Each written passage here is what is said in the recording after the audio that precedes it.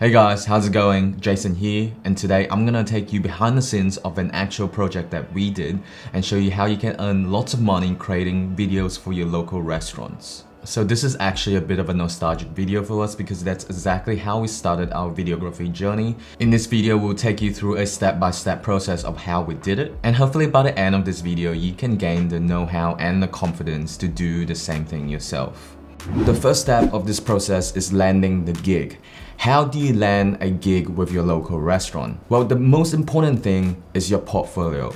You need a strong and viable portfolio for restaurant to trust you and hire you.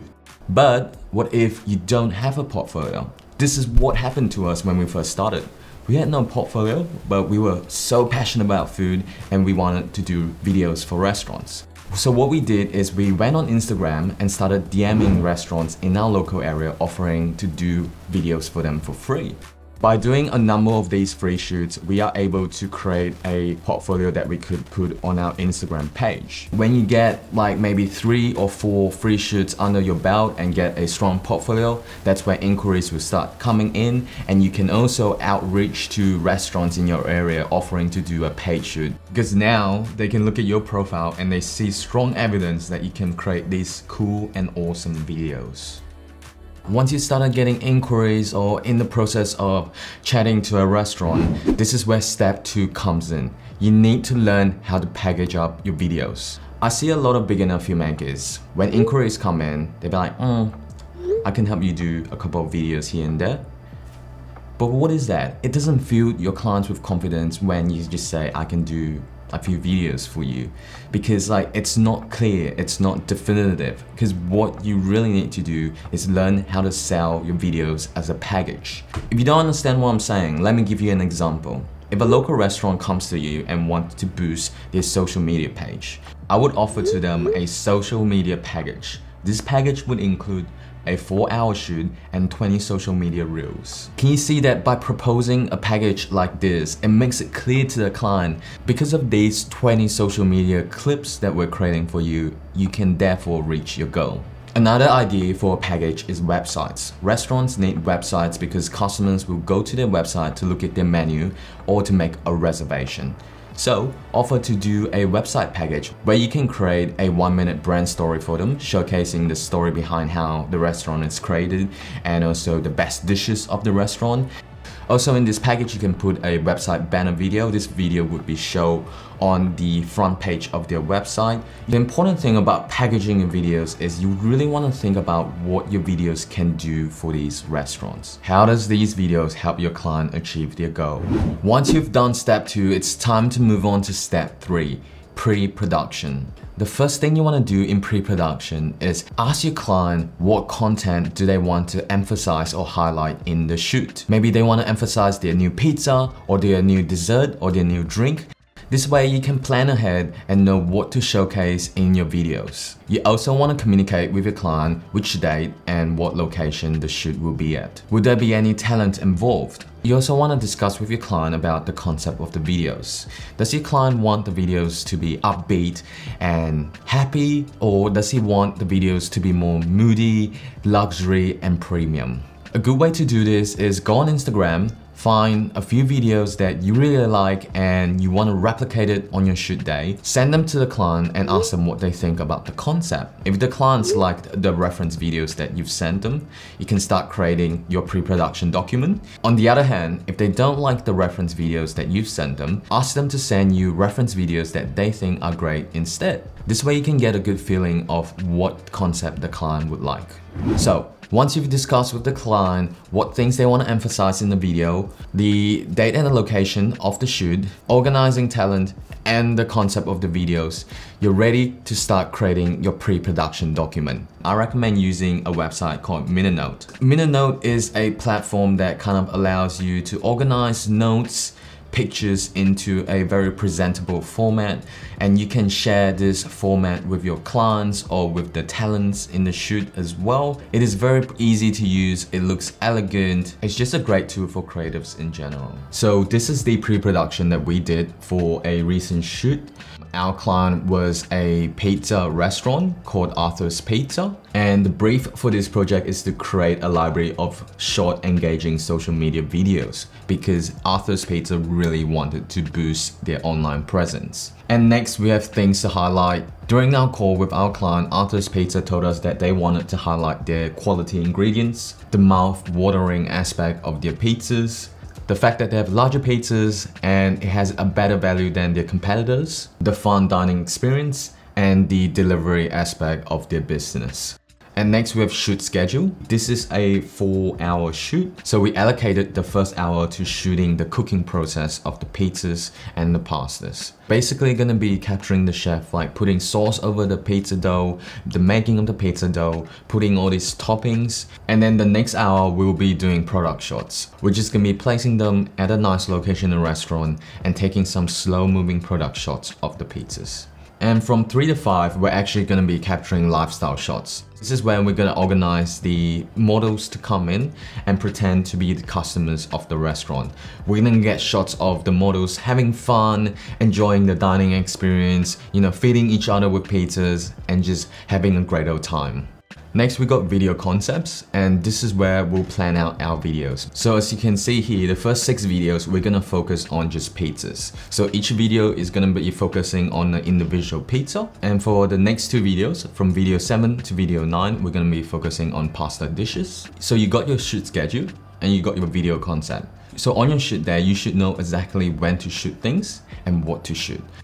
So next are some reference videos. So once we found them, we sent them to the client and the client loved it. They said, hey, this is similar to what we want. So go ahead and create videos similar to this. Last but not least, don't forget to do a shot list. I would say we bring a shot list to every one of our shoots because it is just so important in streamlining the shooting process. In this project, I have categorized my shot list according to the schedule of the day. In the first hour, we'll be focusing on the cooking process. I then go to my reference videos and grab screen grabs of the shots that I want to get inspired from. In the second hour, we're going to be doing product shots. Again, I have screen grab shots from the reference videos that I want to emulate in regards to the product shots. So how I will use the shot list on the shoot day is that I'll print it out beforehand.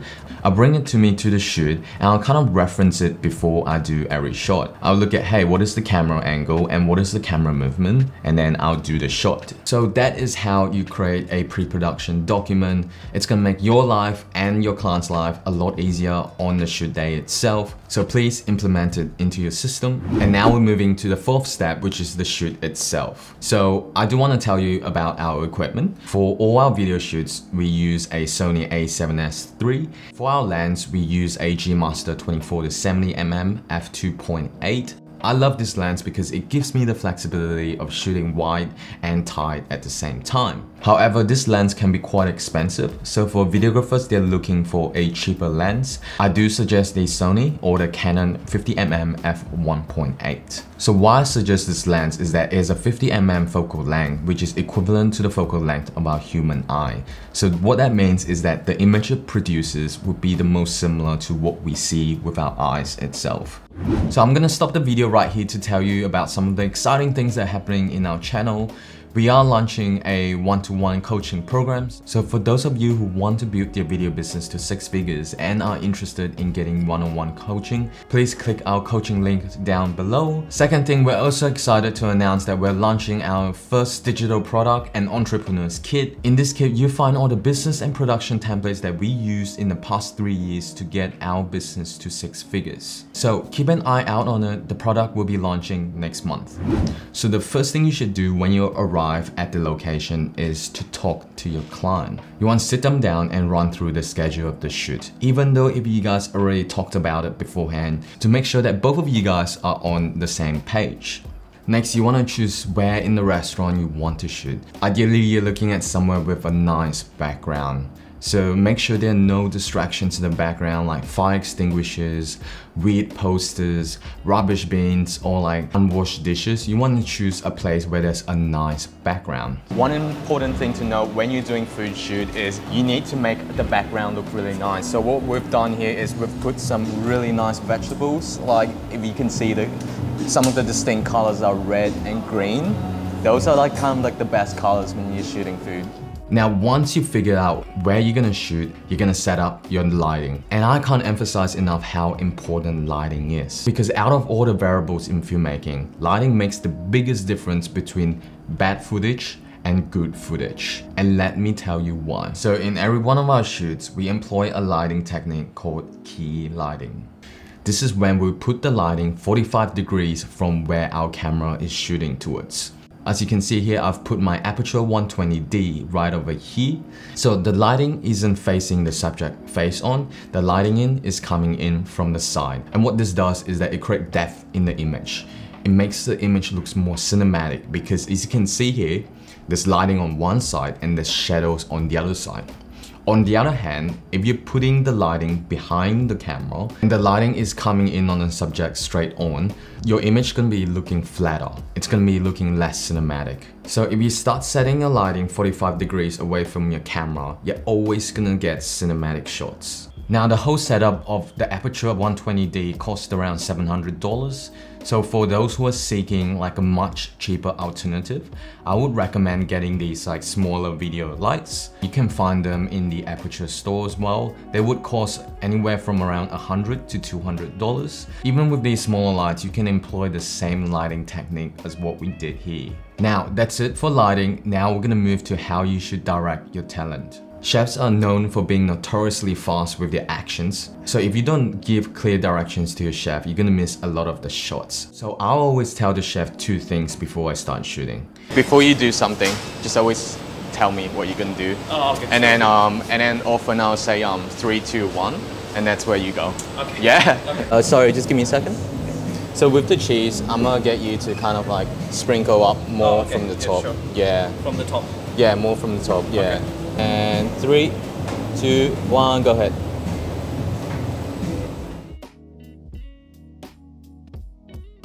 And the last thing you want to do in your shoot is to remember to clean up after yourself. Often in shoots, it can get a bit messy, tables and chairs get moved around, there's gonna be leftover food here and there. Help the owners of the restaurant clean up some of the stuff.